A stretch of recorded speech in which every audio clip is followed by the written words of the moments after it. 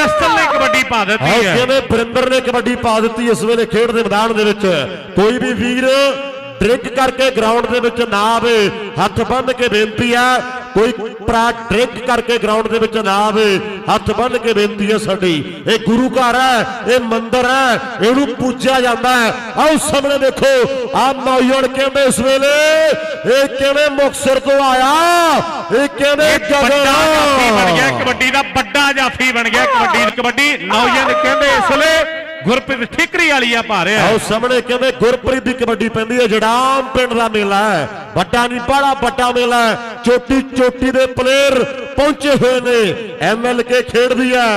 ਆ ਜੜਾਮ ਦੇ ਵਿੱਚ ਬਰੇਬਰ ਹੋ ਮੁਕਸਰ ਤੋਂ ਆਇਆ ਸੂਰੇ ਵਾਲੇ ਤੋਂ ਆਇਆ। ਅਮਨ ਕਰ ਸਿਫਤ ਮੁੰਡੇ ਮੈਂ ਆਖਿਆ ਵੀ ਇਹ ਵੱਡਾ ਜਾਫੀ ਬਣ ਗਿਆ ਕਬੱਡੀ ਦਾ। ਸੂਰੇ ਵਾਲੀਆ ਕਮਾਲ ਆ ਕਬੱਡੀ ਪਾਉਣ ਦੇ ਲਈ। ਵਾਧਾ ਹੋਇਆ ਹੈ।